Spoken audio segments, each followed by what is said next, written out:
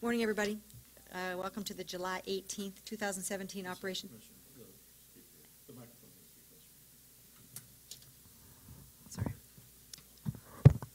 All right, try again. Uh, Welcome to the July 18th, 2017 Operations Committee meeting. Um, First up is a review of the Operations Committee calendar. Who- Who, are we talking to somebody? Are we just chatting about it? It, it's up to the board. I mean, the, the, if I can, for just a moment, I could explain what happened. Um, AJ Belutaluna, I'm the board executive.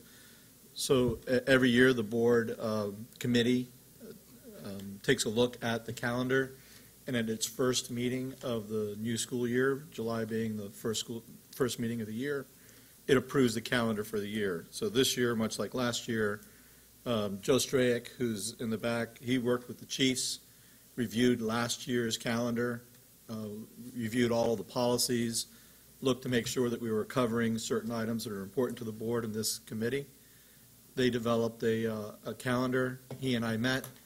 Uh, There was an adjustment made, and then you and I met, the- I'm sorry, the board committee chair and I, we met, we went through the calendar. There were some changes that the board, that the committee chair, Commissioner Casciani, had asked for. I met again with uh, Joe Stra- Joe Strake. He went back, met with the chiefs, and the adjustments were made. All of the adjustments that were requested by the committee chair were in fact incorporated. Um, And this is the calendar that we're presenting for the year. It is a little bit more ambitious than last year's calendar in some ways, um, but you'll see some significant changes. Uh, Commissioner Casciani had asked for things about the beginning of the school year, things like vaccination, the enrollment plan, things like that, uh, school readiness. She moved those up a little bit uh, and added some, uh, some items to that so that uh, it'd be a little bit more complete get- coming into the school year. Um, The other, the only other thing I wanted to say, and then see if uh, Commissioner Frank and Hassan have any questions. Um, As a general rule, I thought if, if we have a presentation where something's getting started, something's being proposed, and we've approved it, or we've, it seems like a big deal for the school system, if you're going to present it as something that's being teed up, would like to see it appear on the calendar as what happened. I mean, we've done that a number of times with transportation. The big one that I asked about was the um, uh, rezoning, uh, because that was originally brought here, and there have been a series of community meetings. um, But the reason something like that didn't appear on here is we felt it was more appropriate for that to be to the full board. Um, So I think, Allison, just as a general rule, um, there are places on here where the agenda is not as full, so we have opportunities to add things. I- I'm not, I mean, let's just, February, for example, it's less, less full. Um, so there are opportunities where if we have some presentation, it- then it would be worth thinking about, um, and we can flag them when they come up, whether we want to follow up, so we don't just kind of get left wondering what happened. And sometimes it's going to be more appropriate for it to be at the board level. So that was really the I, and then there's some standing items, the budget calendar, transportation, sustainability, 21st century, um, school police. We we typically have the food, That- those, those have been standing items that may have changed months, but for the most part, they're still on here. So I'm sorry, do you want to schedule the things you want No. to follow on now, or you No, just I'm want to just saying, leave as some they come up, space? I- I- that's, that's where I, I- that was one of my, the eyes I was looking for. So I, I was looking for the follow-up to the rezoning. But when I, in conversation with AJ, that's going to be more appropriate to be on a full board meeting calendar. So as things come up as we're going through the year, we should flag some things that, um, like vaccination. It'll come up in a normal course. We'll hear about that when we get the enrollment data. But when we get a presentation to learn what the school, all that the school system is doing to address something, solve something, make something work, then we should also have the follow-up, like, how did it work? Sometimes it'll be yes, sometimes it'll be the full board. But that was the lens that I brought when I reviewed it. So I don't know if you guys have any questions. No, I don't. All right, we're good then. So this does require, it is the first meeting, and by board rule, it does require the committee to approve the calendar. Um, We have just So I- approved the So calendar. as long as, I'll make a motion to approve. Oh, we have to the do it like calendar that? as Okay. you written. just have, you just have to say that you approve it, and Oh, okay. Okay, so she moved it. Second. All three of us? Aye. Aye. calendar's approved. Thank All you. right, good, good. Thanks, Allison. All right, next up, um, call center update.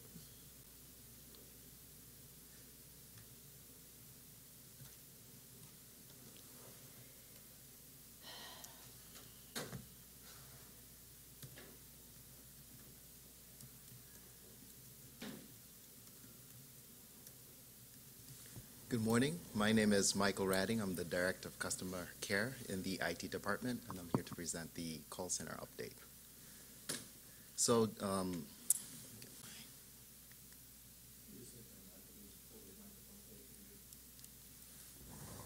sure.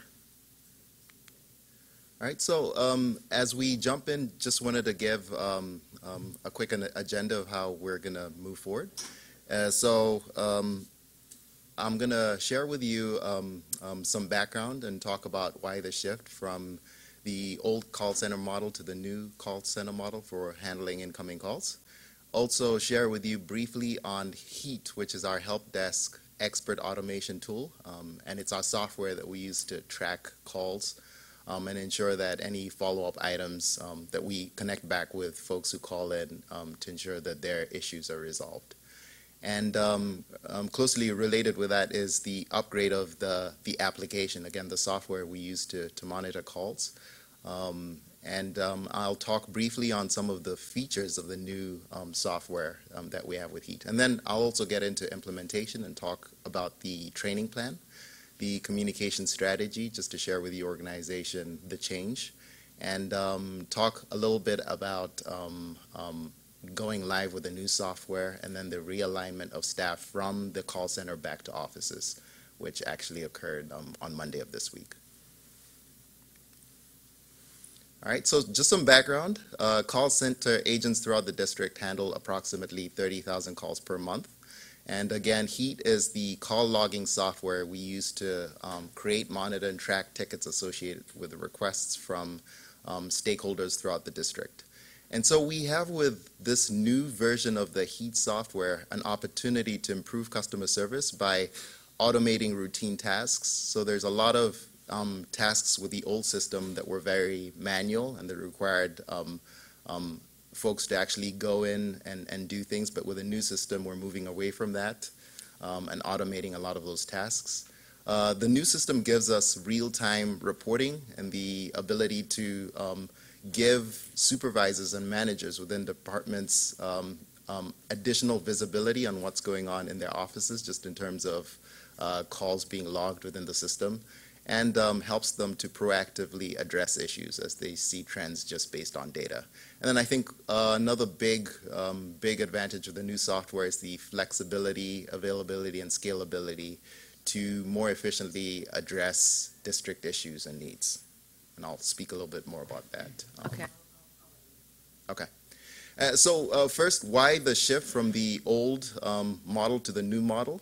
And so the, there's been a really big push by the CEO um, for for district office to really focus on customer service, not just district office but schools, to really think about um, um, who our customers are, um, whether that's parents, whether that's students, whether that's other stakeholders um, for the district, and just how to deliver excellent customer service.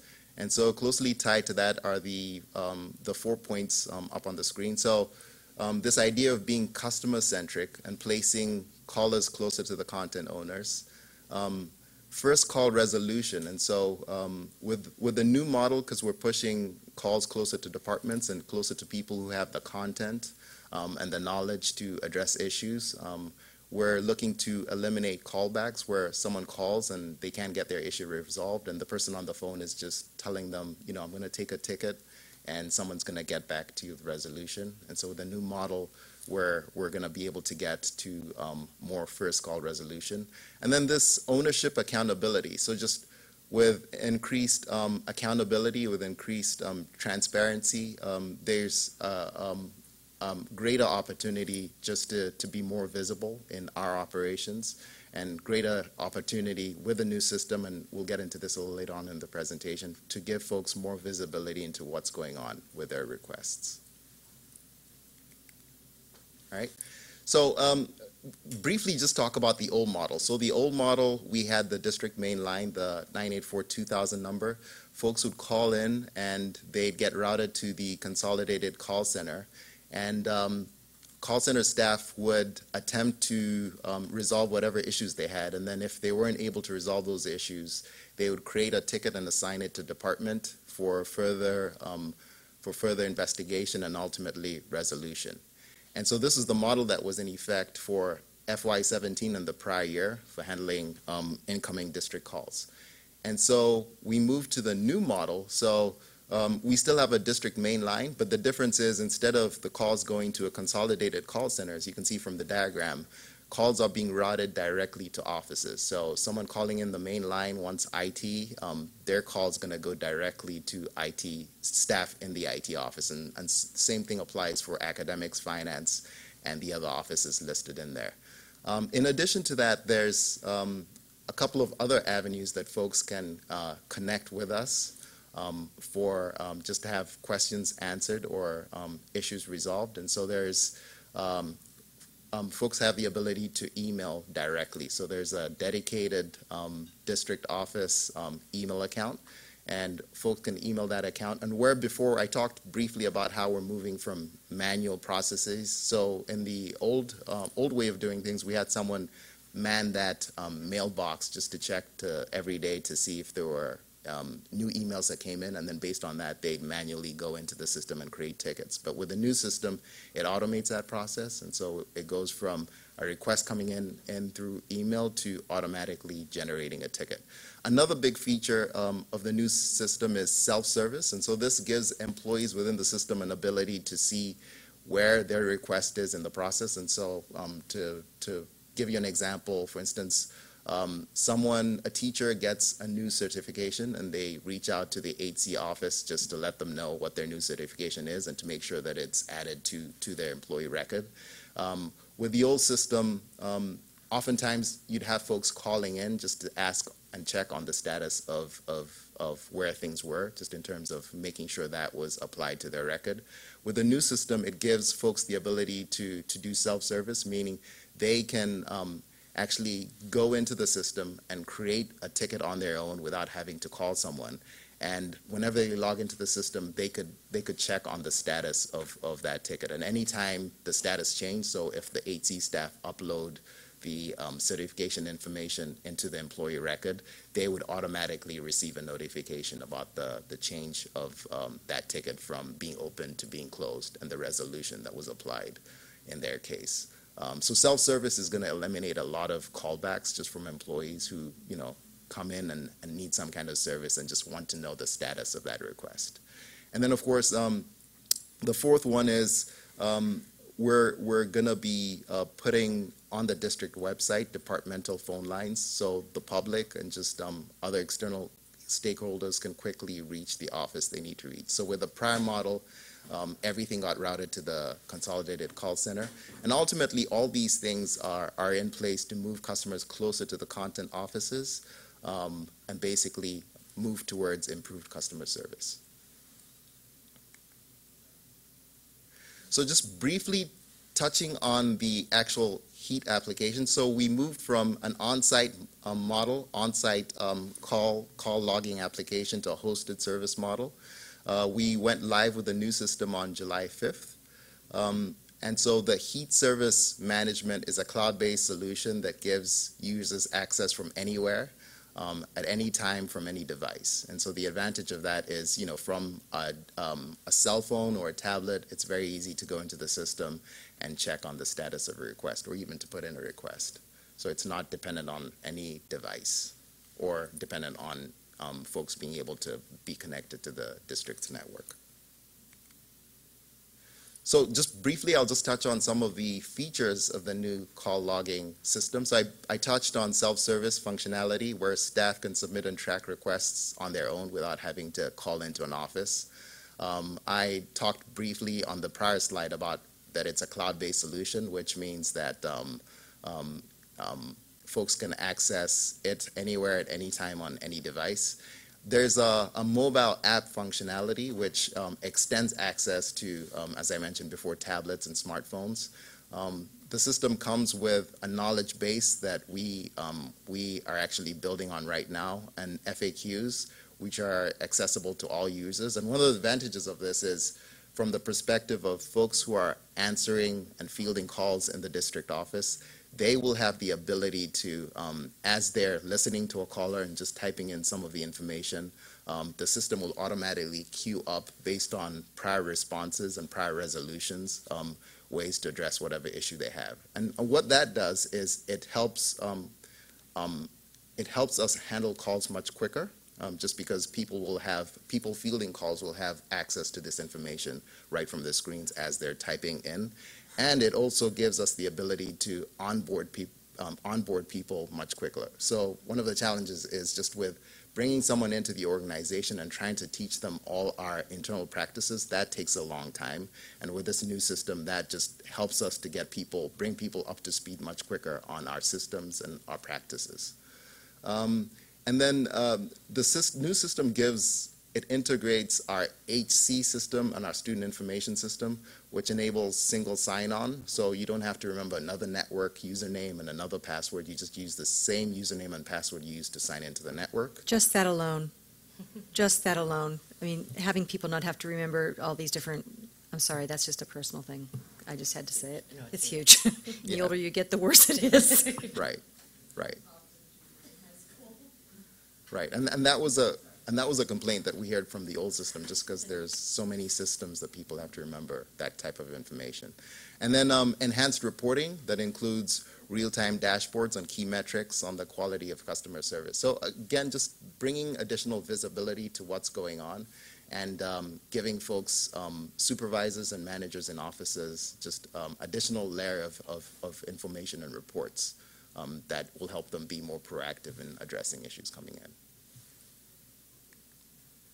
All right, so just briefly going to touch on the training plan. So we um, we've offered training in, in different ways. Um, we made an online course that's been available for staff since uh, June 16th. Um, we made that available through CSI. One of the things we want to do is just because of the timing for when that was launched is we're going to um, um, basically put out additional notices on that and time it for teachers returning. So when teachers return in August, we're just going to publicize that again um, to make sure they see it and they have a chance to um, to take the online training, which includes, um, for instance, how to submit, how to do the self-service piece. So staff have the ability to go into the system and um, create their own requests and then track those requests from creation up, up until the point they're resolved.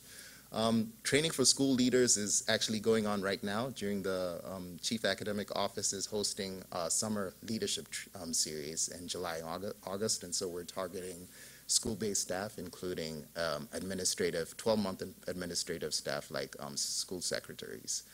And um, district office, excuse me, we've been training district office for the last four weeks.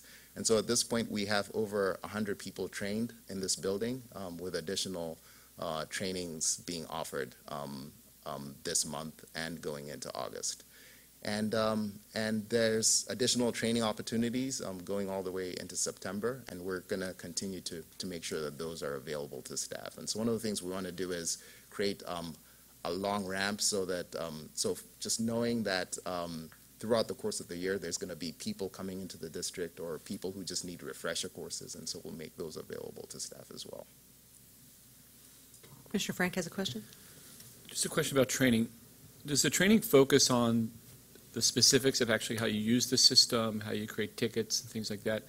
Or are you also training the value of customer service? How do you uh, sort of, how do you present yourself to the public? How do you become, we're never going to become Nordstrom's or Southwest Airlines, but how, how are you conveying to employees that this is important, you're the face of the district? Not just here's how you use the system, but here's how you provide quality customer service. So the training is mostly focused on the new system. We do touch on customer service a bit, but parallel to, to this training initiative is, is I talked in the beginning about how the, the CEO has, um, um, has, has indicated that customer service is one of her big drives for this year. And so, and in parallel to this training, there's a, a train, another training effort that's specific to customer service and what that looks like for staff. And so that's actually being rolled out now in July and August. And um, one of the things we are doing is targeting anyone who is, is um, customer facing in the organization to make sure those folks get that training as well. And so we're starting off with, um, at a high level, just talking about what customer service means, but we are also looking into doing a deeper dive and just addressing things like, you know, how do you address um, conflict and how do you deal with someone who um, how do you just deal with those difficult types of situations that could come up just in, in, in everyday interaction? kind of developed a plan of where we're training, or we're working on a plan of where we're training. So again, as Michael said, kind of the real um, public-facing offices, like um, people answering the phones, like enrollment choice and transfer. Um, At some point, we want to get out to schools and talk to office secretaries, so that's part of, so this is more specific to heat, but, um, uh, but there will be, there is a specific uh, plan and that Michael's leading on um, customer service. Right, I, I I think it's terrific, and I appreciate you not um, sort of taking the easy way out and and making excuses that we're, you know, have bare bones staff at Central and we can only provide so much customer service. I appreciate that, but let me ask the question. Given the fact that we have one of the smallest central districts in the country and you're raising the expectation about customer service, how do you reconcile those two? I mean, I think, I- mean, that is the legitimate challenge, and um, part of the problem I think that people face um, is that, you know, it is, um, it can be, it can take a- longer to get answers sometimes out of central office because, um, because we're just really short-staffed. So um, I think, you know, it's about things like making sure at least people hear back that you know that they've contacted you and that you're working on it, and you'll get back to them. Um, and then it's also, as Michael said, I think a lot of it is because there can be that frustration, and there just is frustration dealing with any, um, large organization, is that also that you, that there's good, that you start off with good customer service, uh, with respectful interactions with folks. Um, I think anybody who deals, and I, it's not just, um, large government entities, it's just large entities. I mean, I know I'm often in my own personal life dealing with private sector entities that are not too friendly. So, I mean, I know we often talk about it as if it's a government thing, it's not just a government thing, and you can get really frustrated with the person you're interfacing with when it's really not their fault, it's the company's policy or whatever it is. So how do you kind of, you know, engage with people in a respectful way in the beginning to kind of make it less likely they're gonna get upset, and then if it gets, it get- does get to the point where people are getting frustrated with the- what the responses they're getting, or, or, um, or maybe lack of response, that there's de-escalation training as well, because that's just gonna be, that is a real part of the work. I mean, these are difficult decisions that people are calling to get information about, and so they're not always gonna like the response, so we wanna make sure that we start off friendly and respectful, and then we also have a way that we're gonna de-escalate and not escalate, um, um, um, interactions.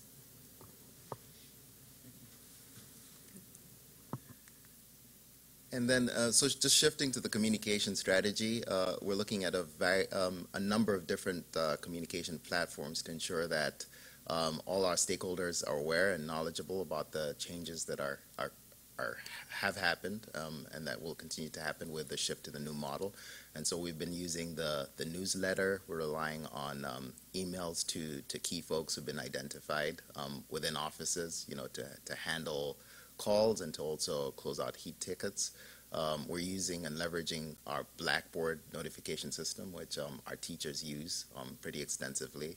And um, um, I think I talked about this before, but um, we're also leveraging the, the professional development opportunities that are already scheduled. So starting off with the CAO Institute for School-Based Staff, but extending on to once once once the school year starts, just other already scheduled PD opportunities, just to make sure that we, we connect and, and um, reach out to those school-based staff as well as a district office. I was just curious, um, are you also uh, using, taking advantage of our partners in their networks, so PCAB, uh, Baltimore Education Coalition, um, Urban, um, Helen's, Helen Atkinson, Teachers Democracy Project. I'm just thinking about people that have the ability to reach their people, um, because this new system is in response to a system that wasn't particularly friendly. So if now we're innovating and putting something in place that is trying to be more transparent, give people access, um, I would think you'd want to use every channel available, and those are willing partners that would, I, I'm sure would love to, there's all kinds of coalitions, the Climate Coalition, and the, in the, in the, uh, en- en- engagement office knows who those people are. But I, I just think it would be ano- another channel to use. Okay, we can definitely do that, reach out to. Yeah, I mean, it'd be hard for you to do it by yourself. You'd need a, a list, but somebody has, I mean, Sabrina has that, Sabrina has Okay. that list. We can reach out to the engagement office just to make sure that we do that. Okay, um, Uh-huh. Commissioner Hassan has a question, and then Commissioner Frank. And I'm, I'm sure you have a plan for it, but since it didn't come up and there may be people listening, uh, what about TTY or second language translation contacts? Do, if people need, you know, someone to answer their question in Spanish, do they go to a separate Spanish line or do they contact academics and it's handled through there? So we actually have, um, and this is something that we've had for many years, we have a, um, a translation service.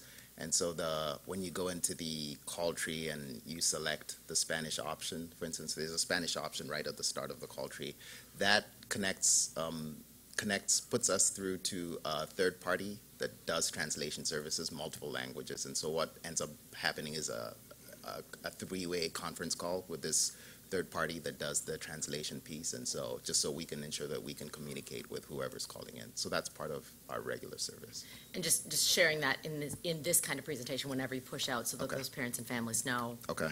they don't have to jump through extra hoops. Thank Okay. you. Just one other question for Allison. In, in terms of this being a priority, priority of the CEO, does this become part of an evaluation for central staff and for principals, customer Um, Customer service? service. So, um, and we haven't figured out exactly how to make that part of the evaluation, but I think that, um, that is a high priority, so trying to figure out how to make sure we're evaluating that makes sense. We, I don't, we- I don't have a concrete way we're gonna do that yet, but it does make sense, because it is a high priority. And for things like this door knocking campaign we're doing right now with, um, with neighborhoods, I just went to Hampden last night with some of our door knockers, and, um, you know, to the extent that you're generating, uh, interest in schools and people are showing up at schools, we wanna make sure that, um, that they're getting a friendly reception when they re- go to that school. So, um, so it's something for principals to be held accountable, it's something for us centrally to be held accountable, so we need to figure out how to do that. It sounds like there's some data that could be useful if you're going to be able to look in each office and see, I was, I'd assume, volume of calls, response time, resolution, follow-up complaints. I mean, that doesn't mean it's going to be easy to translate it into evaluation, but it sounds like, unless I'm misunderstanding, that there will be plenty of data that's generated automatically from this system. And there will be. Is that correct? That's Could correct. it, could it do the, if you're interested, please stay on the line for a one-question survey after your call? It's actually, Something as simple as that, and then the question being, how likely would you be to hire the person you just spoke to in a customer service role? it's actually every um, call that, that comes in, um, the, once the, once the ticket gets resolved and closed in the system, the person who initiated gets an email just saying it was closed, but there's a link at the bottom of every response that includes a link to survey. So we do have um, a lot of, you know, customer service um, satisfaction type data that we will have. Would it be possible to set it up more like a calendar invite where they simply, they don't have to click to a secondary link to fill out a survey, but just click, you know, how satisfied were you? One, two, three, four, five, click it, and it automatically sends? We can look into that. You, definitely. you IT are pretty smart. We can Thank you. definitely look into that.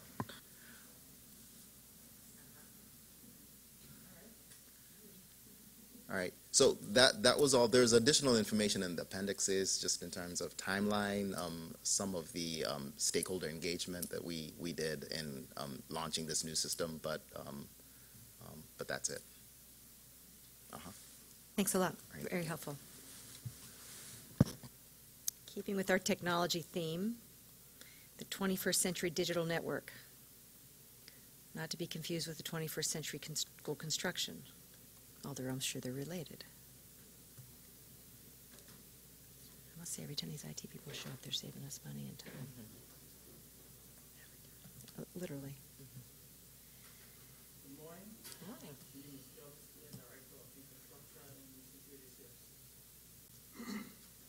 So, um, twenty-first century digital network.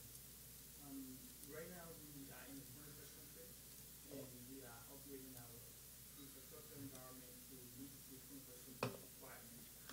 As you know, we got twenty-first century schools being constructed, and we also have to make sure our infrastructure is You need to turn your mic on.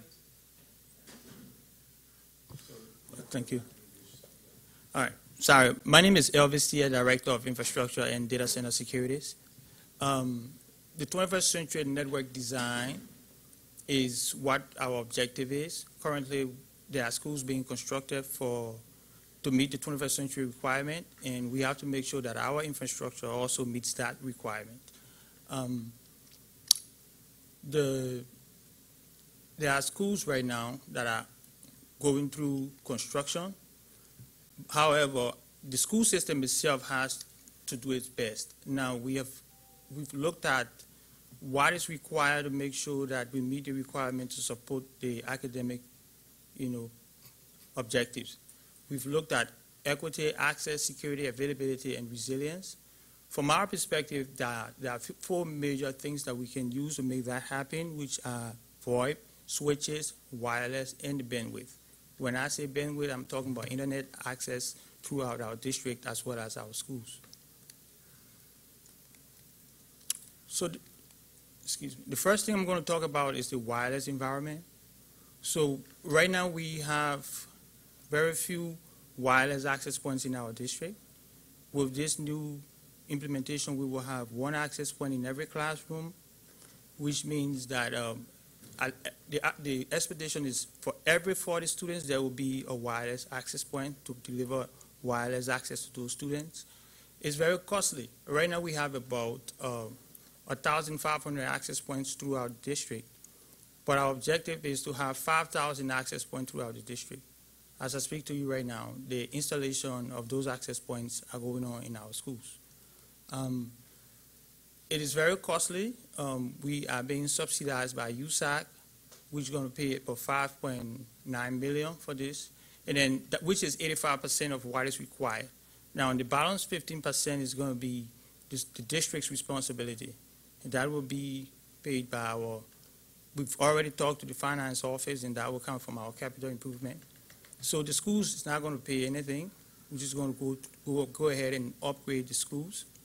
Um, so we've started this process a couple years back, but we've never done a lot. We had only 32 schools. Now our objective is to make sure all of our schools have the wireless access that is required for all students. Because the one-to-one ratio, you know, we got Chromebooks coming into our district. Every student will have a device. And if we don't improve our wireless infrastructure, then they're going to have a bottleneck. The internet is going to be slow. Additionally, we have most of our things in the cloud right now. So we have to make sure they have the kind of access they need so that, you know, when academic, or for every instructional, uh, every instruction that goes on, they're not going to have any bottleneck because we've experienced in the past that schools will have problem with slowness and stuff like that. So we're working on making sure everything is up to date. Just a quick question. So you said it's being covered by CIP, so this has already been in a CIP budget that's been approved?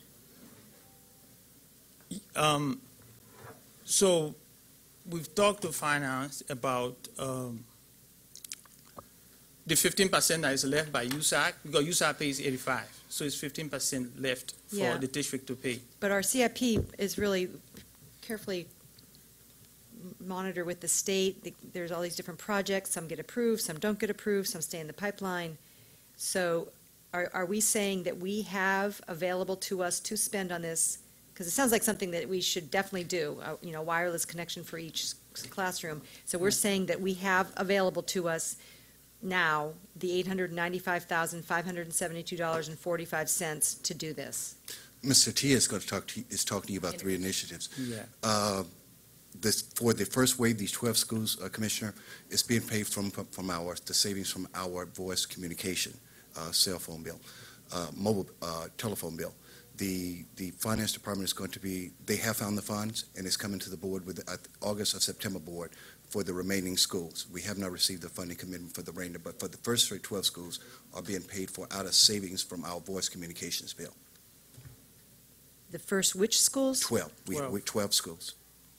Okay, all right. Maybe, I'm, I'm sorry if I misunderstood that. That's okay. And just to clarify, those 12 schools have some wireless service, or at this point they have All, no, all schools, all schools within the district has a wireless presence. Okay. Our goal with this initiative is to put full building-wide access, uh, wireless access at all of our schools. But I, I don't think this is on, in our capital improvement. I think you were talking about it, we're using, like, it's a capital investment. I don't It's a think you- capital I don't investment, think you yeah. literally meant the capital improvement project, right? No, ma'am, no, yeah, Okay, you're- because and you're that- absolutely right, That, oh, That's right. thank I'm you, I sorry. because think, I that, think it's just coming out of our, uh, general funds and. Yes, uh, I'm yes. sorry. okay, Yes. because I was like, wow, that, that, it- the thought that the state would have approved a school by school by school wireless connection, which would be awesome, but Yeah, it doesn't. I just think you, I And- think and you I'm just sorry. meant that it's Thank just you, a Allison. capital investment, it's not It is a specifically capital coming out of that investment. pot of money, yeah. Okay. Okay. So then that, that concept also applies to the wire, to the switches. So capital investment is going to cover for the switches in schools. Uh, one thing we've noticed is, uh, if you look on the screen, the switch that is below, which is purple, is the extreme switch. Um, we're gonna upgrade to our Cisco environment. Those are the switches that have the intelligence that is required for us to deliver the kind of speed, security, and priority for, for the students to have the access they need.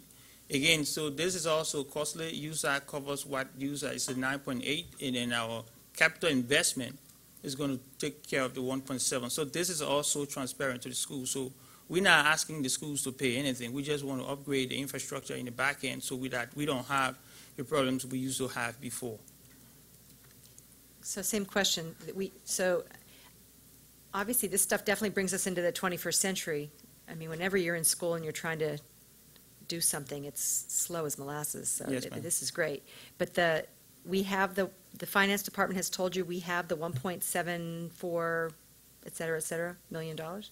Yes, and, and actually, and Commissioner, the, the, in, the in the, the- in the general fund budget, capital, the capital budget, uh, these numbers. No, general fund budget. General fund budget. The numbers, and the- these are high, because, a- and we, we applied for this two years ago, uh, and we got board approval, and we got, pre- and and we got USAC approval. The 1.7 is high end because the way they fund us is they take the student population and the building size.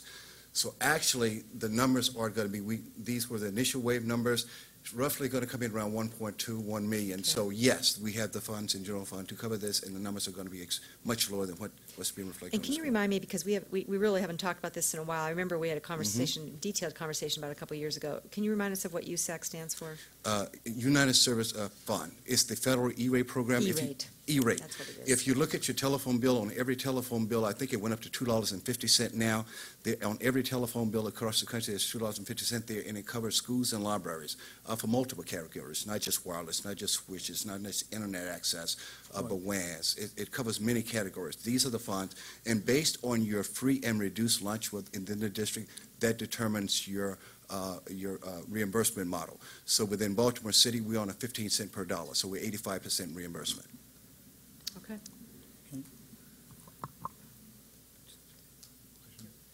I'm sorry, I was distracted with actually a computer issue, but the, um, so, so in, in layman's terms, where will Baltimore City be as a district relative to districts that you think are doing it right, whether it's in Maryland or elsewhere? I don't, I can only understand this in terms of relative to other districts or where you want us to be.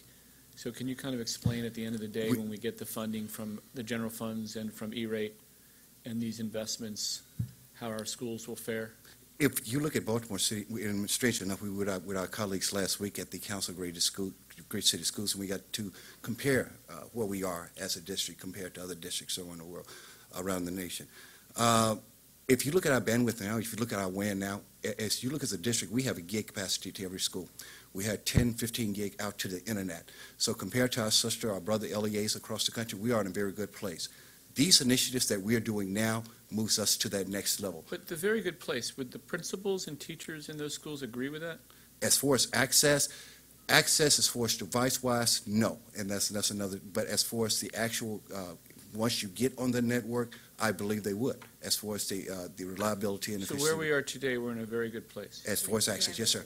And, and, uh, and strangely, last year at the uh, legislative, we were called, uh, Baltimore City was called to testify uh, because of the PARCC testing, and, and we were, we got uh, accolades uh, because of our, the way we, our, our testing went, the way the, the resiliency of the network, uh, the way it held up, and, and the way our students progressed. So, uh, are we there? No, no, by, not by any chance, but uh, we are in a good place. So, so with the proposal here, where would that take us? This will take us to a What, what will, what will the difference be in the schools? What will the experience be with teachers and principals and students in the schools that they don't have now with these investments? As, as, as- today, as we walk to schools, in many of our schools, there's certain parts of the building that they can use their devices, their mobile devices. Once we finish this, they can go to any part, any location within their building, whether it be the media center, whether it be the uh, fifth grade classroom, whether it be the third wing, upper wing. We're putting building-wide wireless access coverage, so regardless of where you are in that building, uh, they'll be there. The switches play a different role. Now, the switches we have, they're in the life as of last month, so they, they're performing where we want them. but, but this will give us the, uh, in other words, if, if they were to, the connectivity die, that we could just hot swap them out. So it maintains the continuity, the resiliency within the building. So regardless of where you are in that building, regardless of what the instructional material or the business need within that building, be able to go anywhere within that building to get connectivity to do what your instructional business needs of the day. And last question, again, I'm sorry if you covered this. So this is something, is it funded? This is, and, and if so, over what period of time will it be implemented? We, uh, again, uh, back in, we applied two years ago. We did did the solicitation, required board board approval, but uh, uh, you can't really put a a calendar on E-rate. We just got our funding approval last March. So based on that, a- to answer your question, there's a two-year implementation. But based on the late approval that we got our funding for our first 12 schools, they have given us a year extension. So based on that, uh, we see this probably bleeding into uh, the 18-19 school year to have this completed before the money run out. For the 12? No, no, no, for all Oh, schools. for all schools, For all okay. schools. Follow-up question? Wait, can I just do one follow-up on that? So in terms of the existing state, there are, as Ken said, there are some, there are a number of places in some of our schools where it is hard to access the, um, to access wireless. And so that is, I mean, we've heard that from some schools. So this will be, you know, this will make a difference to those schools where anywhere in the building you can go and you can get access. The other thing I was hoping you could talk about, uh, Ken, a little bit is that this will mean that more students have access to wireless. So what are you doing to make sure that, that, that there's not a bottleneck issue where it's slow, uh, where the service then is slow with all those people, um, having, all the students having access? And thank you. And, and, and uh, the, the, the current model, the, even in this building, uh, we, the, the old model of the access point probably bottled out at 15, 25 users at, at any given time. But with the, uh, with the wireless connectivity that we're placing in our buildings now, it is a bleed over or a right brain, left brain. So if I get 100 people in this room, regardless of what location you are, it automatically push those, those users over to other devices within the building, thus the building-wide connectivity. Also, and, and I don't know if the board is aware, we, and uh, uh, uh, Chief uh, Cohen approved us, uh, at least we just signed off on yesterday. We're, we have been approved for another grant which provides 25,000 free devices, which are going to be a part of uh, this, this, uh, of the instructional program for the FY 17-18 school year. So this model allows those students to bring those devices into school, to be on our network, to have the access they need to also integrate that into the instructional environment. But I was referring to the firewall, so we have a firewall that all the, uh, that the Mhm. schools have to go through in order to, you know, protect the information that's uh, being accessed in our schools, and that has to go through us, and so what are you doing to ensure that with more people accessing our internet, that the firewall is not, um, is not slowing um, the, slowing the internet Abs- service? Absolutely, and that was another upgrade that we having to do this summer. Uh, Even though we have gig connectivity to all of our schools, even though we have 10 gig out to the internet, I have to safeguard the data or the content which our students and staff view.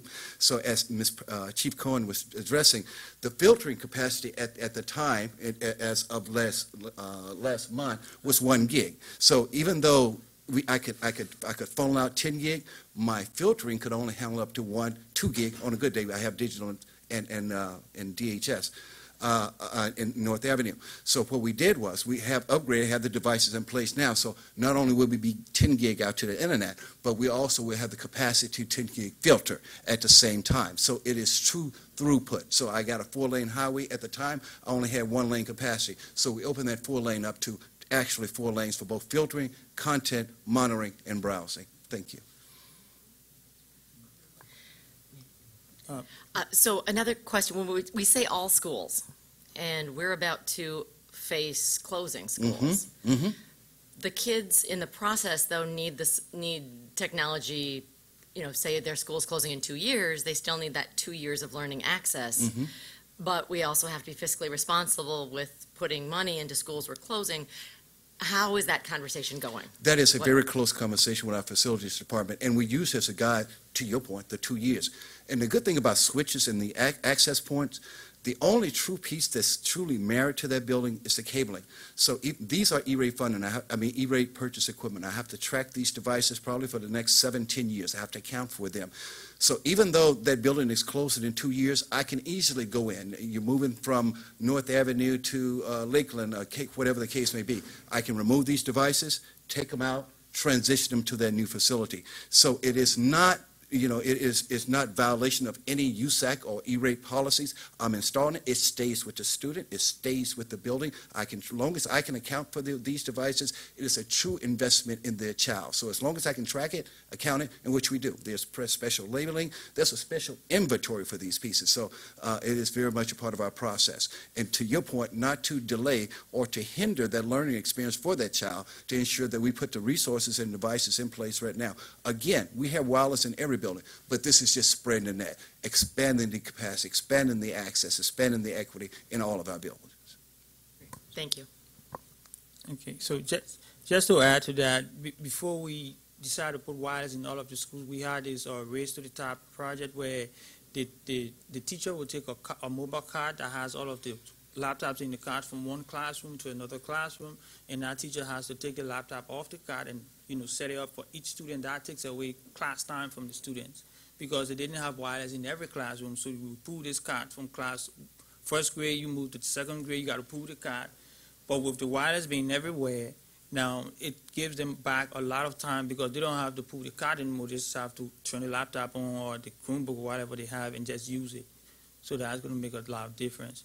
And then to add to the switch piece, so the switches that we're getting rid of, the at end of life, as Dr. Thompson said, and each of those switches is about ten thousand dollars a piece. So if we don't replace these switches with the opportunity we have now, every time a switch goes down, it's going to cost us about ten thousand dollars to buy a new one. So we have to do that as soon as we can.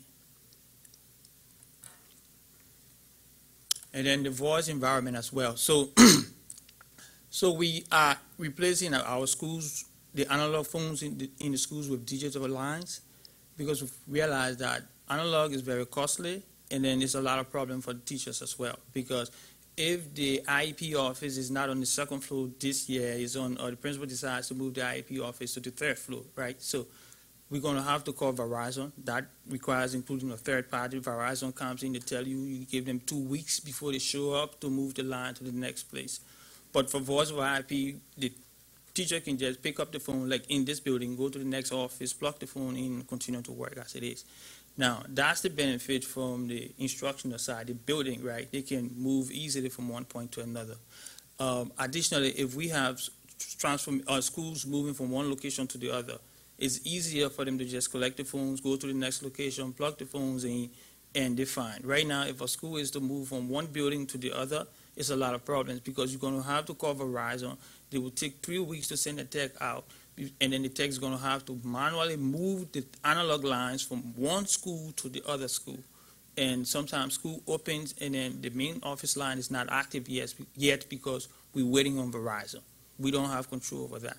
With the voice environment, all we have to do is pick up the phone, go to the next location, plug it in, and that's it. We control everything from back here.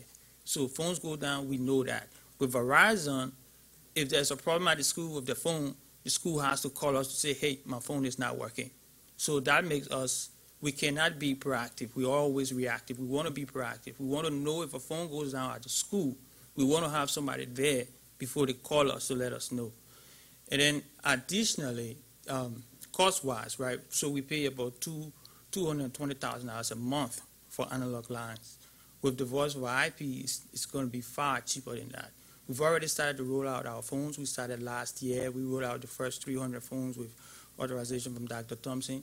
So right now, we're not paying the two twenty, we're paying about hundred, I think, hundred and thirty-five thousand a month now. And we're still in the process of rolling out more phones to the school, and it's gonna cost us to save more money. It's a, a comment actually for Allison. You know, this, the savings of 1.8 million a year has certain energy ESCO-like qualities where the district will be saving money over a period of 20 years or so.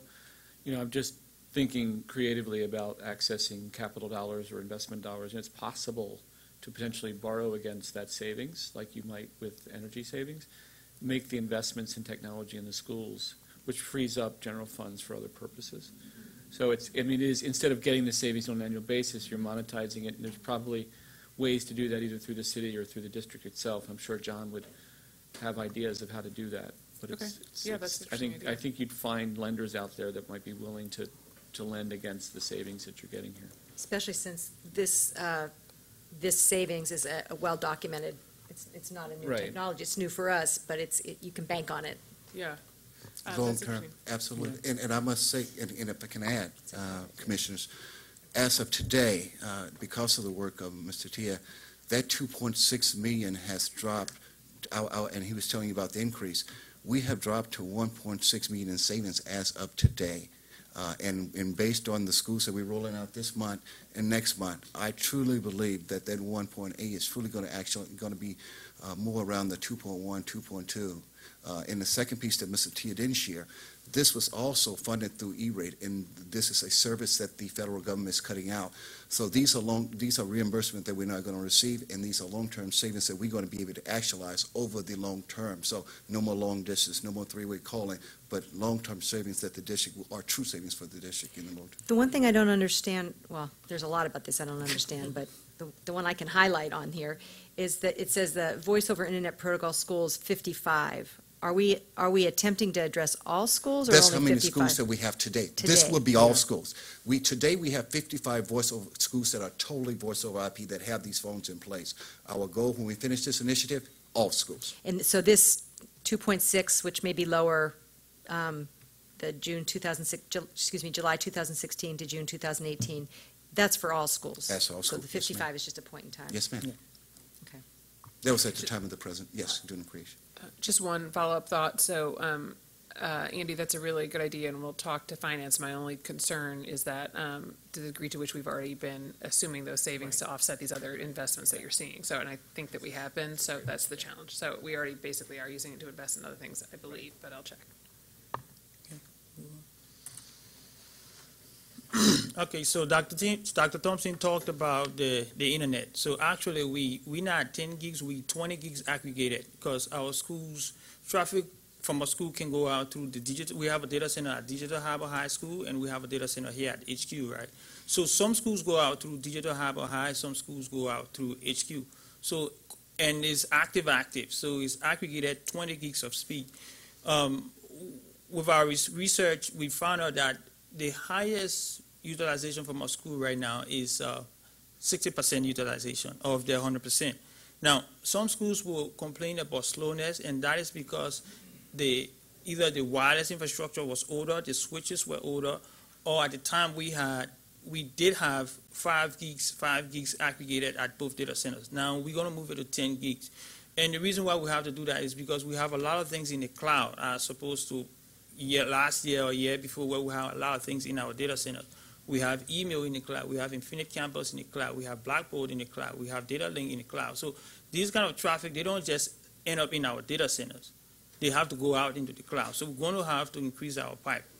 So um, our internet pipe is now 10 gig. We've also secured the appliances, thanks to Dr. Thompson, that uh, we're going to, those appliances will be installed in the next two weeks, getting prepared for this school year, so that once teachers get back, speed shouldn't be an issue. We shouldn't have conversation about slowness as we put these things into the school.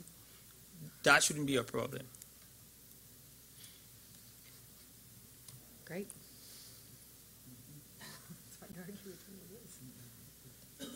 So just a quick summary of the impact of these things. Students and staff will have, will have access to any mobile devices from the wireless perspective. Uh, So with our new infrastructure, we will be able to accommodate more than 150,000 simultaneous connection bandwidth-wise. Um, And then this will support the one-to-one initiative too. We, we've tested that in two of our schools, the one-to-one initiative, that was Dallas Nichols, Dallas Nichols and Edgewood, just to see how it's going to play off. And it, it did go well. So we want to have the infrastructure in place so that when the students get the devices, then we already have the infrastructure in place. We don't have to go and change anything. So, and, and, and for the wireless to work, the switches in the back end have to accommodate the wireless traffic. That's why, in addition to our switches going end of life, we have to replace the switches with intelligent switches that can determine whether the traffic is from a student or whether the traffic is from a teacher. Because that's another thing, security. So right now, as I speak to you, if you go into any of our schools, if you take your personal device and plug it into the wall to get access to the internet, that traffic comes back to us. Our devices are intelligent to decide whether this is a teacher or this is a student or if this is a guest. Depending on who you are, we put you in a separate bucket for security. That's the reason why when we got hit with this whole, when the ransomware thing came out, We knew it was there, but we had our security in place, and then our firewall was also on standby. No traffic comes from the school and go directly to the internet. Everything comes here to us before it goes to the internet. Well, the schools might think they go directly to the internet, but that's not the case. Every traffic that comes from the school, it comes to us first. We inspect that. Speaking of uh, chief of staff, when she was talking about firewall security, all traffic comes here first. We see it before it goes to the internet. Um, and then the voice over IP piece, we also talk about that, right? So from the VoIP perspective, we save money, and then it's also it's ease of manageability for the teachers, and we also have the ability now to see if something is wrong.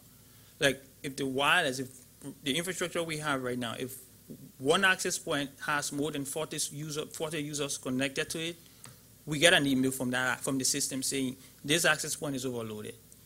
So we that's how far our intelligence has gone in terms of dealing with these appliances. And that's the same thing we're going to use when we shall have completed the deployment.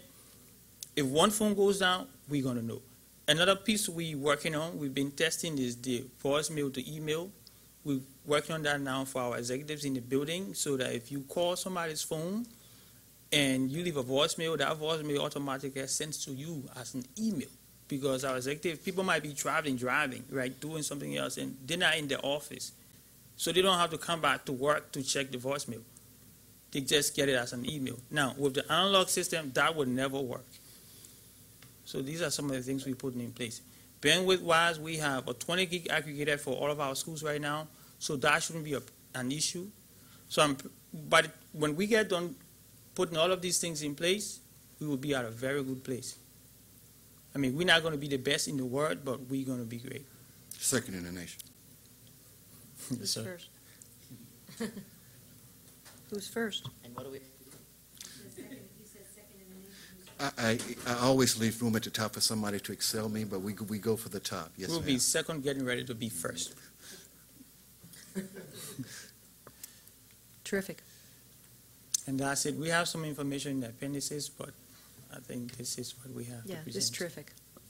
Thank you very much. Thank you. All right, vaccination. The reason I asked if we could talk about this is connected to um, our ongoing, when I say our, I mean the board, uh, our ongoing obsession with uh, enrollment, all things enrollment. And this is one of those categories that um, feels preventable because it's a, we get the kids, we get them vaccinated, they can be in our classrooms and had had several conversations with the principal at Ben Franklin um, High School last year um, when I went there on, on the opening day of school. That was the school that I went to. And, you know, he just had ideas um, about how they use vans at their school to get kids to places. They- have an, an innovative way that they're going, and so he had other ideas. And I just wondered how much, I figured we were doing a lot, but I wanted to know sort of how extensive are our efforts and are we getting all the possible cooperation we could need from the health department to make this work? So that's why I requested the presentation, so I appreciate that you were willing to tee it up. Microphone? And introduce yourself, please, for the, rec- for the. We're good? Okay, sorry. I know my voice doesn't carry, but I, I just didn't look. Uh, Good morning, and my name is Louise Fink, and I have been working with vaccinations for many years. Um, We did reach 99.95 compliance last year, uh, which is right up there with most of the other districts in the system. We're kind of uh, in the forefront of the districts who have been able to do that. Uh, My understanding from counterparts in other districts is that we have to work harder to get there, though. So let me tell you a little bit about what we've been doing. We've been trying to, uh, see someone doing this here? Right, uh, right there, the clicker you need? It's What? right, Louise, it's right to the Yeah, right. Sorry, that's okay. Okay, so. Oh, there we go. We've been working on making sure that we communicate the health and educational benefits of immunizations to students, families, and communities, and we're working to ensure that all students have to update, updated immunizations. Um, What have we done differently this year? Um, So, these are the requirements for this year, which is up here. Uh, They have changed somewhat from the past, but those are the immunization requirements for this year. Uh, The uh, addition this year has been to add the uh, varicella to the third grade and to add the Tdap and meningococcal to the 10th grade. Uh, Everything else remains the same as it has in previous years. We are also working with uh, um, um, the medical homes of students to make sure that they contact students and let them know that these immunizations are required. And we've asked, uh, we just got a, a very nice piece of information back from Kaiser that said that they will be sending out a letter to every one of their students' parents who are not up to date with their immunizations in the next week or two. Louise, if you, if I, if I might, I, um, th- this is a helpful but complicated chart. And as, when I was looking at it, I was trying to think back to when I went to school, which was a long time ago. And I remembered, I think, I got a vaccination when I was a little kid, but I don't remember having to do it again. Like, how, yeah, I'm sure I did. I'm sure I did, but can you just, is this saying that you need, there's something that you need to get every year? Um, no, but there are things that are required, and they look at what the different requirements are for the year. The big deal that happened about three years ago, which has been making our life much more complicated, is that the Department of Mental Health and Hygiene decided that our students really needed Tdap and meningococcal vaccines. And they introduced them because they're, uh, were finding that there were students who were becoming ill and that the original vaccines that they had had when they were babies and before they entered schools were not lasting that long. So, and then they've had a couple of real scares with meningitis, which I think you've heard about, and they had this new vaccine, so they made this mandatory for students, and they made it a grade-related vaccine. It was one of the first times they did that, where this is, is something that you need to have when you're in seventh grade. So what happens is that when you leave school in June, you're in compliance, because you've met all the requirements up to, and the day you enter seventh grade, you're out of compliance. The additional piece to that that makes it more complicated is any student who's retained in the grade uh, becomes re- required to have that vaccine the, the next year. So they did seventh grade, eighth grade, ninth grade, now it is up to tenth grade. And the meningococcal and Tdap are required for students all the way up through tenth grade. Which means, for example, for this year, last year we had any student who'd been retained in ninth grade then had to get the vaccine. There were over a thousand students that were out of compliance the first day of school that we had not known about because we didn't know which students had been retained. This year, students who were in 10th grade last year did not need the vaccine. If they get retained in 10th grade, they will need the vaccine this year because it's a grade-related requirement. So that is one of the complications they put in. Um, They have been trying to put an HPV as a required vaccination. Many of us feel that it's a good idea, but we don't want to make it required because we don't want to have to beat the doors to get people to do what they should do. So, Thank you. and this does look complicated, but it, um, it's in all the doctor's offices and it's in all the schools and it's loaded to Infinite Campus, so you can go against it and make sure that you have everything that you need. So, we created a new position this year. We have an immunization associate in my office whose job all year is to focus on the out-of-compliance students and make sure that students come back into compliance. It's been especially important this year because many schools have had problems with immunization in Infinite Campus, and she has been, sorry, I am challenged, there we go. And so we've been doing that. We have all done a, ma- we've done some major efforts to make sure that all seventh grade vaccinations requirements were made. And during the last nine uh, months, the Tyke Immunization Clinic at the Health Department vaccinated 29% pre-K students than the previous year. Also, our school-based health centers were instrumental in vaccinating students, both the ones that were run by the Baltimore City Health Department and the ones that were run by Baltimore Medical Systems. Um, The Baltimore Health Department's Baltimore Loves Immunization School Students Bliss Project operated immunization clinics exclusively for city school students on Fridays. Um, and then during the school year, they did some work between Infinite and Internet, uh, Immunet Registry and Infinite Campus, which resulted in uh, identifying many students that we thought were out of compliance that really were not out of compliance. And they found a number of students who we thought had been out of compliance, and they re- re-entered them.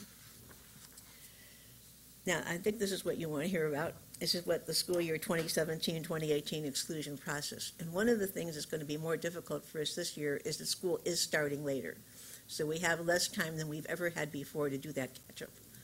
Um, The exclusion date, the 20th school day, will be September 25th. We're going to pass out exclusion letters to all the parents whose child, children are out of compliance the first day of school. And it will tell them that unless they have an appointment, uh, they won't be able to to stay in school, but we'll give them temporary admission until September 25th. September 25th will be the exclusion date. Now, there are students who are excused, excused from immunizations.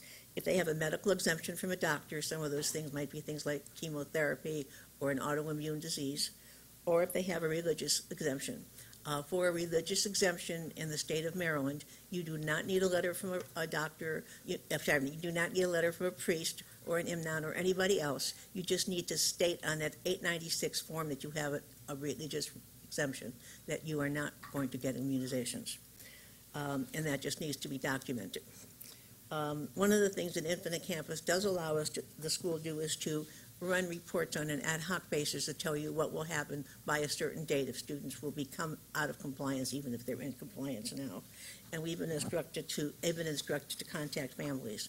Now, in line with that exclusion letter, we have sent letters to, we have sent the names of the students who will fall into that point to all the schools. So all the schools know who they are, and they have been requested to let parents know during the summer, so that exclusion letter will not be a surprise. Uh, we started back in March with robocalls, letting parents know that, you know, now that your child is entering this grade, this is the things they will have to have. Um, we've been doing summer outreach, and the immunization associate has been on the phone and in schools doing summer outreach. And we're going to be working with partners to provide free clinics in school buildings and at partner locations. Louise, can you change the slide? Oh, sorry. That's okay. Okay. Did it change?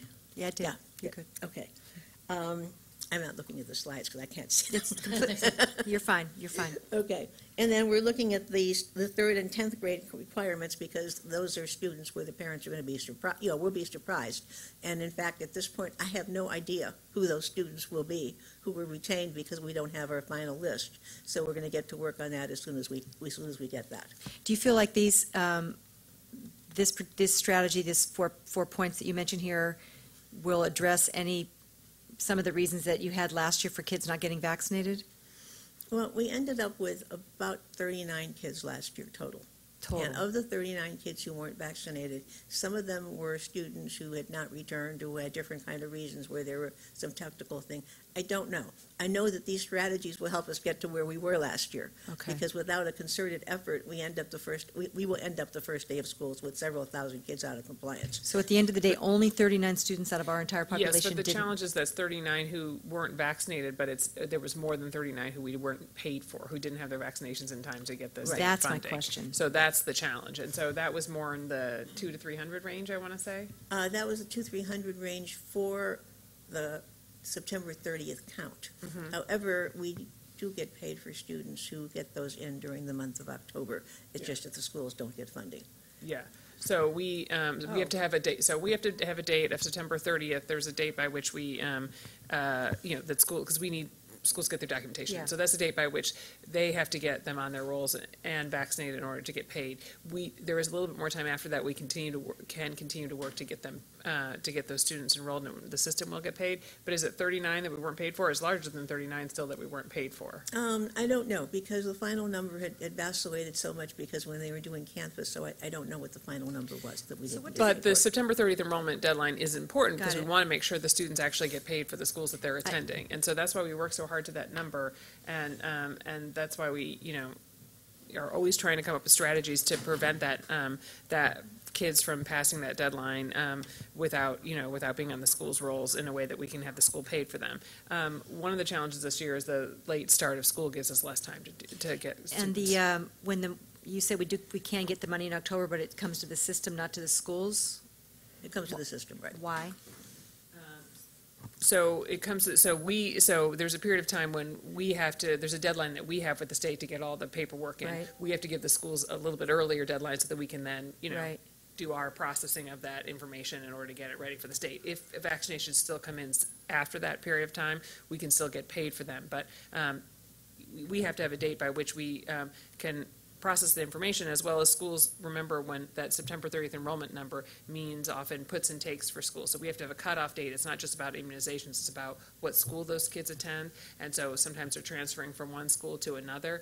Um, So there has to be a point in time when you kind of stop all that movement in terms of what the enrollment count is for kids, because staffing has to happen as a result of that. So HC has to make determinations if a school lost a significant amount of enrollment, they might have to move a Got it. teacher, or if they gained a lot, they might have to hire a teacher. It can't be too late. So it's not just the immunizations, why September 30th is the date that we use, there's a number of factors. Okay, thank you.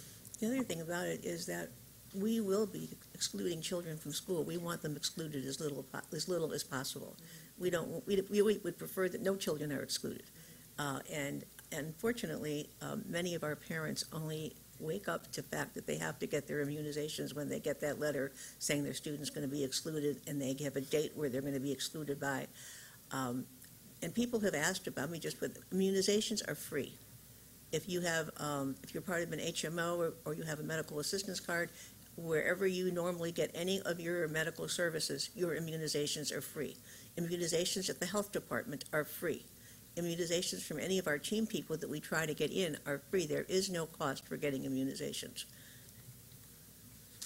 So, Quick- quick Louise, question. uh, one additional strategy to consider, it certainly isn't all of our students, but uh, for our students that participate in athletics, they need a physical. So if it could simply go on their form for their physical, or ensure it's there, are you up to date with your immunizations? Um, And especially entering into middle school may be the first time they've been required to do that, which lines up really well with that seventh grade need. Actually, uh, we have contacted all of the HMOs and told them that when they're doing the, the- the physicals for the students for athletics, because it's usually done at their HMOs, to check on their vaccination status. Uh, But putting it on the form would be a very good idea, that we can certainly do that. It is a good idea. And we did a lot of outreach and support efforts this year. Um, uh, Before June, the principals and the immunization coordinators in the building were informed both about current non-compliant students and about the students who will be non-compliant when entering next fall. We've asked the principals and supervisors to contact parents over the summer break regarding immunizations. We have actually provided each school with a list identifying the students who are who are now or will not be non-compliant, so staff will continue to uh, contact families. And the Maryland Partnership for Prevention will provide free immunizations at summer school sites with 20 more students who have signed permission slips. Um, I have to tell you that personally, and uh. Dr. Wel- uh, is going to, I was very excited about the fact that people were going to do this, and we tried very hard at several different sites during the winter. We only managed to get one site done that way, where they brought in the 20 permission slips. Uh, When you get volunteer organizations to come in, uh, they will volunteer to provide the immunizations, and they have a break-even point where the cutoff is they have to have 20 students with slips, or else they end up paying money for a nurse and everything like that and losing money because the vaccine's very expensive. And they won't come in and just, and then one of the reasons the health department no longer is, is going to use a mobile van is that when you stock vaccine, it's got a limited shelf life. And what was happening was that they were coming to places and seeing two or three kids. Uh, The big hangup is that you may not immunize any kid without parent permission. So either the parent needs to be with them, or they need to have signed a permission slip ahead of time. And that is a really challenging aspect. Now, there's going to be um, a back-to-school immunization clinic on Saturday, August 29th at the Eastern Health District, where they will do a thousand of the kids who have figured out, not a thousand, a hundred of the kids that were not vaccinated so far. Uh, They're going to have, there's a tight clinic schedule which is posted on our immunization website for July, and since this was done, we have added the August schedule. And they are going to be offering immunizations at the mayor's back-to-school rally on Saturday, August 5th, at the War Memorial Plaza, for people who've not had them. Um, I had this idea, but nobody, my idea was rejected, so I will tell you what my idea is, and then you can laugh. I said, the mayor is giving out backpacks, and last year they gave out 1,300 backpacks and immunized 300 kids. I think they should get their immunizations first, but I was told that was too much coercion. Mm-hmm. I don't think it's a bad idea, but What? keep going. I- I- You know, hey, I think we have to c- come up with as many ideas as possible. Okay, and then our challenges are interesting. Um, The major, one of our challenges, the timing of the student retention in summer school. So the, that list of students who are non-compliant is something we don't know yet. Uh, Permission slip return is our biggest, biggest problem. Uh, Documentation for legal exemptions, if you are doing, if you're getting chemotherapy or you have a medical condition that says you can't get immunization, uh, you have to have the doctor sign that 896 form. If you have a religious exemption, all you have to do is say you have a religious exemption and sign the form, and then make sure that the school enters it into the uh, Infinite Campus. And then the other thing that's a challenge for us, and it's been an increasing challenge as we are getting more immigrant students, is that immigrants are vaccinated at their point of departure. Uh, Nobody enters this country without having been immunized, but there's a catch-up schedule. And then we have to be contacting the parents saying, well, you can get this vaccine again on October 5th. You can't get it before October 5th, but on October 5th is when you're due to get the vaccine. So that catch-up schedule has been a challenge for some of our students. And go back here to, Thank you, thank you very much. I think we asked, asked our questions during the presentation. It, it just was helpful to know what our strategy is and how thorough it is. So look forward to hearing that we at least reach our 99.5% rate again. Thanks, Louise. All right, procurement. Um, let's see.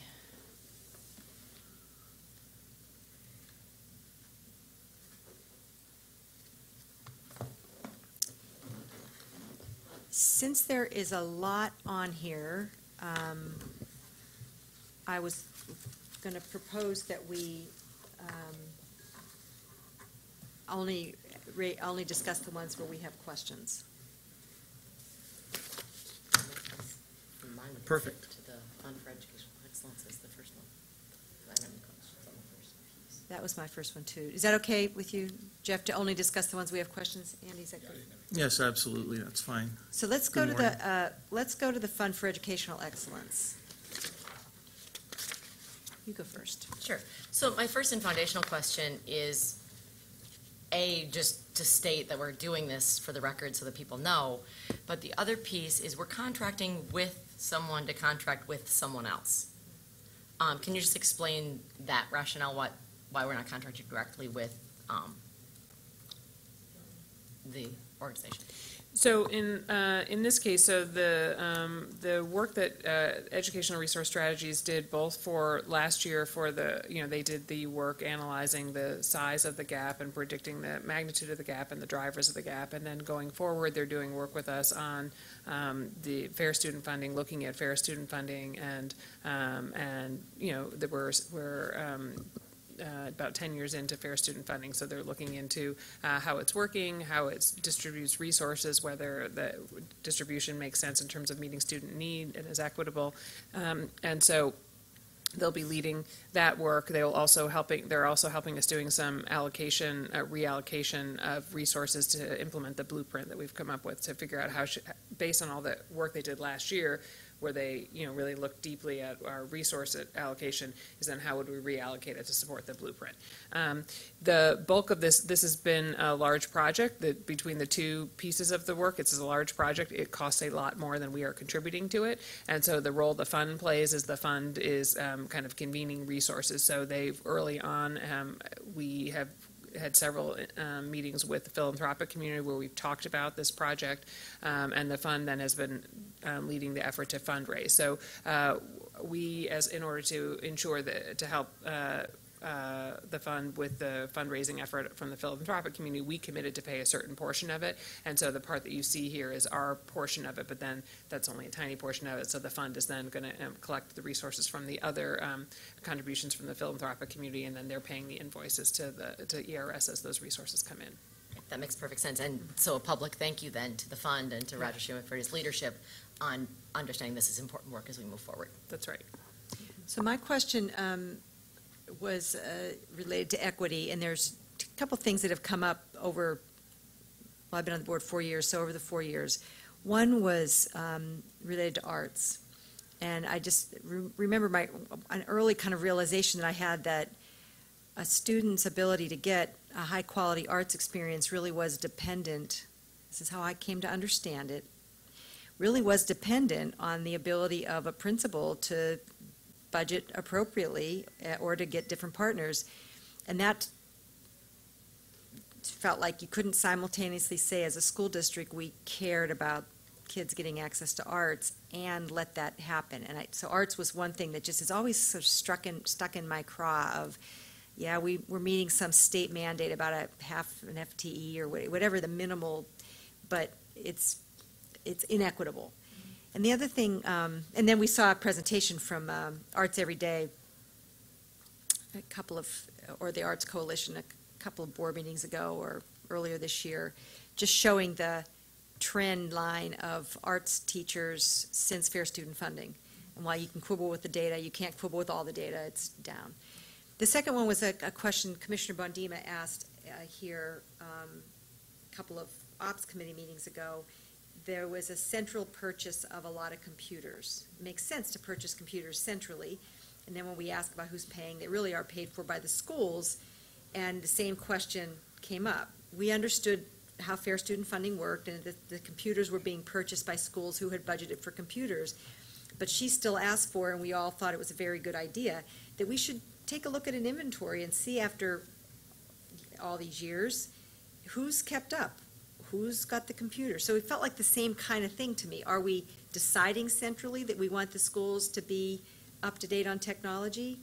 Are we deciding centrally that we want kids had equitable access to arts? So those are the, like, the two big things that have really stuck with me, and I'm wondering, mm-hmm. in this review, I'm sorry for the long intro, but I've been waiting for us to do this review. In, in this review, are we going to, are they gonna be able to look at that kind of stuff? Because that strikes me as one of the, one of the unintended consequences of school-based decision-making. So I think I would, um, I, I, first of all, I think I would give caution to, um, to, uh, say that what, the, what you're describing and the work that the Arts Every Day, um, the analysis that they did is it indicative of what was happening with fair student funding, because I don't think it is necessarily. You have to remember that it timing. They just showed Right, the timing. But that timeline is the same timeline during which the um, funding from the state uh, uh, became flat. And so our resources have become tighter. So whether we were allocating at the school level or whether we were allocating them more centrally, our resources were going up for a period of time when, um, from 2003, 4, the beginning of Thornton, up till 2007 or so, and then they flattened out. And so that kind of is around the same time the fair student funding came in. And so I don't think that you can necessarily, as, um, you know, say that that is because of fair student funding, it's also because resources tightened. Fair And so enough. we would have had to make difficult, difficult choices if we were making all the decisions too. Fair enough, but some schools are still ki- knocking it So out of the I park, think, right, and so I think, um, computers and arts. right, and so I think, um, I, I think you're getting in, I think what you're talking, you're asking about is questions with regards to implementation of how, what is the guidance that schools have in order to make sure that they're making decisions that make sense. Um, and there's always a tension there between, you know, what is the right level of, um, guidance to, on the one hand, um, provide some autonomy at the school level to make decisions about what they think makes most sense for their school community, but at the same time, there are certain priorities that we hold dear. Um, so some of that you see in the development of the blueprint. The blueprint provides, um, is going to be providing, as we've discussed in some of the three-by-three briefings, more specific guidance than there has been to schools about how they utilize their resources and how they staff their schools. Um, I, um, I think um, the ERS work will look at equity from a perspective of the amount of resources that are going to schools. I don't, it's not currently planned to necessarily look at what the schools are spending their resources on. Um, I think it's going to be more about how do you distribute resources in a way that achieves that, you know, based, looking at zip codes, looking at um, where student, you know, um, student need and, um, and whether resources are being distributed in a way that reflects um, the need of students. I don't, right now, I don't think it's designed to be looking at things like, are they spending it on an art teacher, or how much are they keeping up their, their computers up to date? We can talk about adding that, um, whether that's something they could do analysis on, but that's not currently part of the plan. I think that's more of an implementation of when you have a funding model, how do you then provide guidance to decide what is most important? And the challenge we are, are genuinely in is that we have much fewer resources than the state um, both in their um, review of the Thornton formula and their review of adequacy formula, says is, is reasonable to provide an adequate education to our students. So we are going to have to make difficult choices. I'm not trying to poo-poo those two priorities, but we have a lot of things our kids should have, and we don't have adequate No, resources I- to provide I- them. That's fair enough. I, I would say then for the, when this comes to the board, it would be, I would, it would be great if this write-up could be enhanced. Mhm. What it says is, the it says what the desired outcome of the project is, is a redesigned fair student funding formula that. Blah, blah, blah, blah, you know, adequate funding, adequate funding, student, acad- it doesn't say what they're gonna do. Like, what are they gonna, what are they gonna, what's the lens? Okay. what's the lens they're using? You know, what are we, because that's, I don't feel like this is an unreasonable question. That was a perfectly reasonable answer, so that helped me understand it. But uh, you just said it, they're not going to look at how it's implemented. How they're spending the resources necessarily, they're going to look at what the availability of the resources are in different types of schools, different parts of the city. Just saying that, Okay. because that, we can, You should be looking at us, I think we, I believe we wrote it, not. I'm looking, at yeah, I'm- I, Yeah, just taking the note, I'm look, I am looking Yeah, at you. yeah. Um, But I think, because I think that's the, what, the I think the board, that's, Mhm. this is going to get pulled Yeah. at the board meeting, because we should have that conversation. Yeah. We've been promised, or it's been referenced, not promised, uh, several years in a row now during the budget s- cycle, that we're going to take a look at fair student funding. S- you- When you go out in school site visits and you talk to principals, some love it, some are lukewarm. I think it comes back to a lot of other things. If you get a really awesome principal, things tend to work out. Mhm. People secure Yeah. additional funds, they make partnerships, they, um, so I, I get that, but Mm-hmm. I just want us to be really clear about what this is and what this isn't, because Okay. we've been waiting for it. Yeah, so that makes sense, and, um, yeah, I think, um, it is, uh, it, we do intend it to be kind of a ten-year look back at what has worked well and what has not worked well with the fair student funding. Um, and, but I don't think it's necessarily a wholesale, should we get rid of fair student funding? It's more of how do we make it better? Um, I think, you know, there are challenges with it, but I, I think, uh, you know, our, our, our feeling is that, um, while it's not perfect, it is, um, funding students that way is one of the more effective ways to fund schools than, um, than a staffing model. So I assume in their process that they will interview principals? Yeah, so I'm- there'll be I'm hoping. focus I- I- groups I'm really hoping, and Mhm. there's plenty of data on the where the money goes and Yeah. this and that, but I. We have I an advisory really want that team voice. that um, is going to have principals on it, um, and they're, and they will also do some um, meetings with um, more, with community folks to try to get input on this as we go. Probably teachers, too, I would Yeah, assume. teachers, yes. Uh, So I, I really appreciate that, and I appreciate the direction. One of the things to consider is, I think, one of the things this board will be looking for as a metric to measure the success of the new formula is what programming do, do all students get? Um, So another data piece that they may want to look at is simply the master schedule from all schools to get sort of what, what are kids getting now? Um, And while that is deeper down into the weeds, I think it will be one of, it's one of the things that we look at as far as equity to students across the board. It may be deeper down into the weeds, but it's come up a couple times and over, in I don't, I can't even remember which meetings. One was when we discussed the Fund for Educational Excellence report, and the quote that I grabbed onto was, you know, if, you know, ten thousand more kids want, I don't know, five hundred more kids want what they're getting at Poly, then we should make there be something with more high, high grade, high quality technical education. Another one was about, um, um, the comment, I mean, I've made the comment a number of times about the waiting list and the twenty-first century school design. That was the other place where, um, they were letting school-based communities, as part of their engagement, decide on the focus of the school, which is lovely from a community engagement standpoint, and I'm all about that, but there may be some central needs that we have um, that we're seeing either through waiting lists or demand, but the equity argument i- i- is, you know, there's a Question. balance, there's a balance there between what you, what the community wants a- at that school and what the system needs. So Allison, did, did you say there's going to be a work group that's going to over?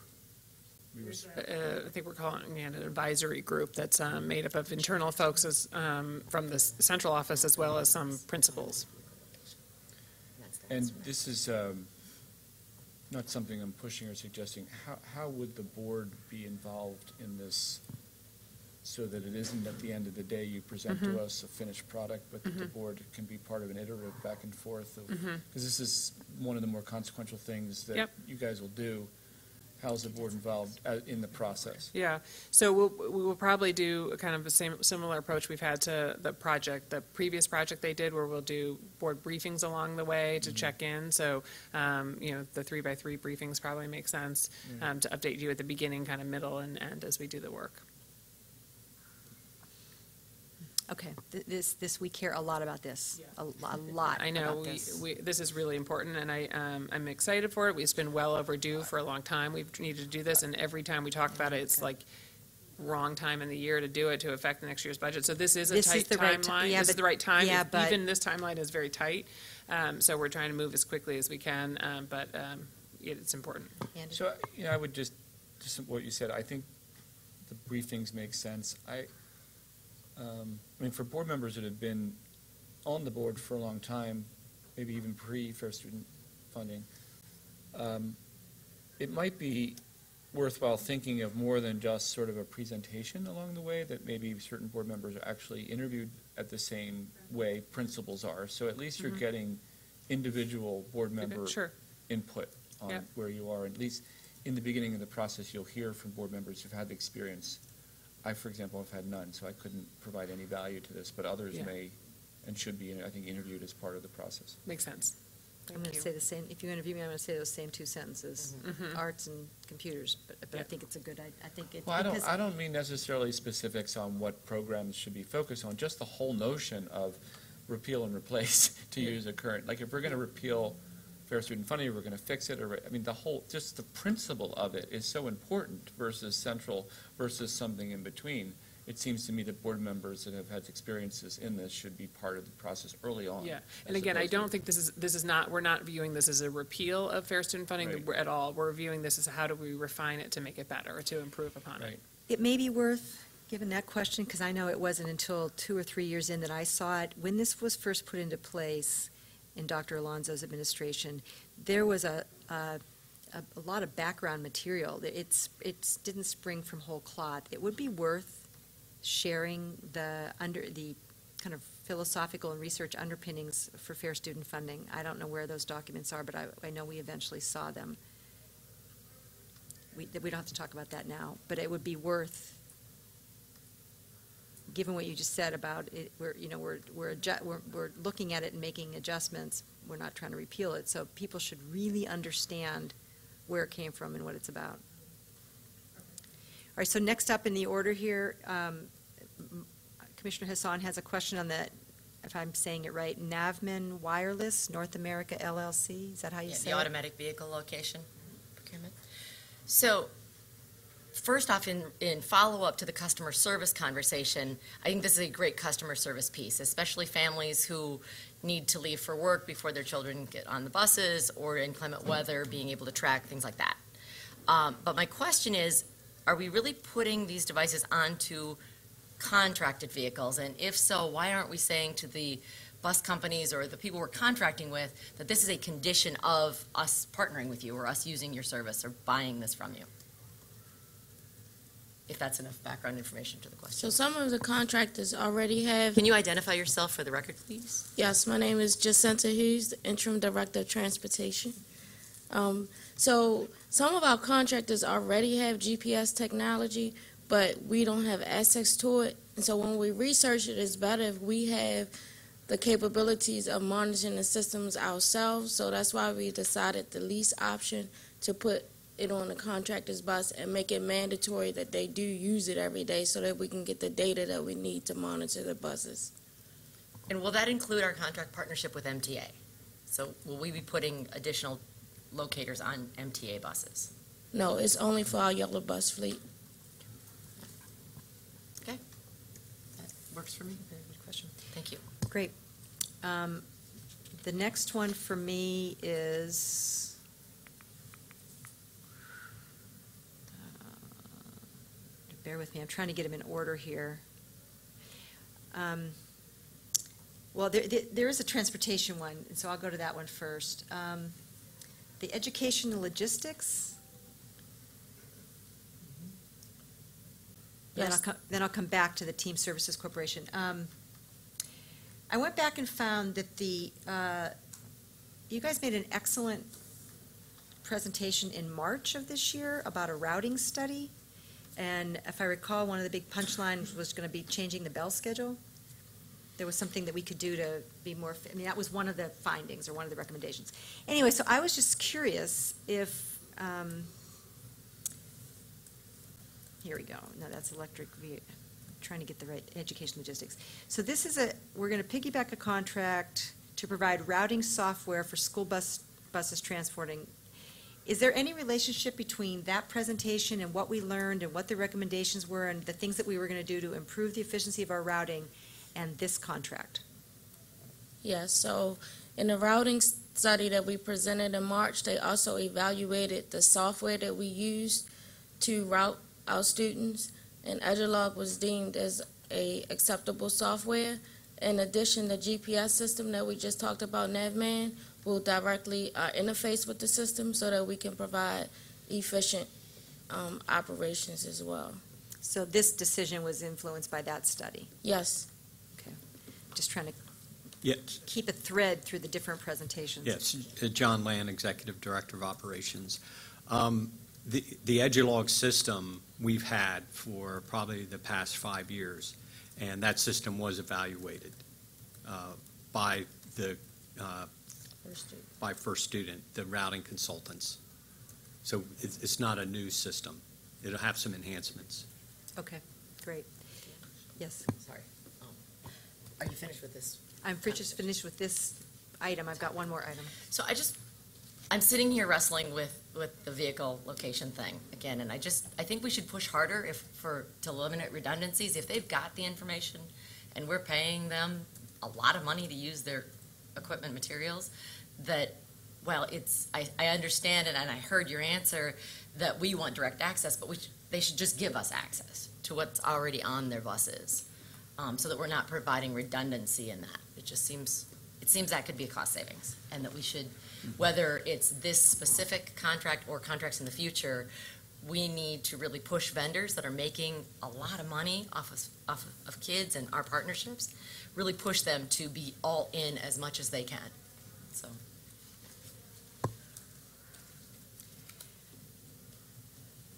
The last one on, for me was, um, is, there's two items for Team Services Corporation. This one is the emergency generators repair and maintenance.